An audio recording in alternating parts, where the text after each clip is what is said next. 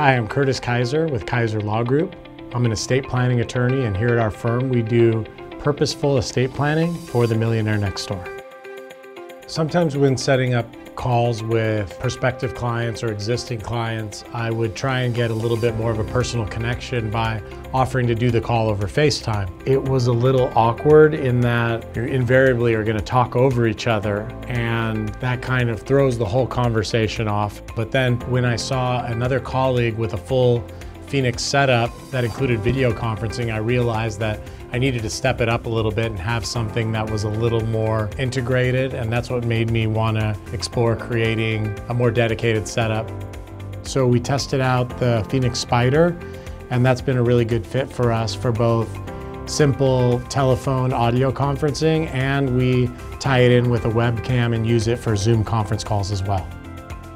With the Spider, it hasn't felt so awkward and distant like it felt before. It feels like they're in the room with us and they're integrated into the conversation and we get more out of the call.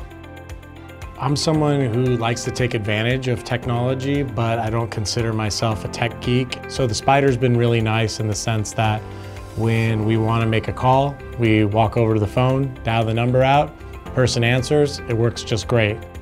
There's this little blue light that lights up that tells us that the phone is knowing where in the circle around the conference table that the voice is coming from. And that's helped us not have to all lean in to the center of the room to get ourselves heard. I'd recommend it to anyone who has a small to medium sized conference room that wants to do more audio, more video conferencing and have it feel a little more natural.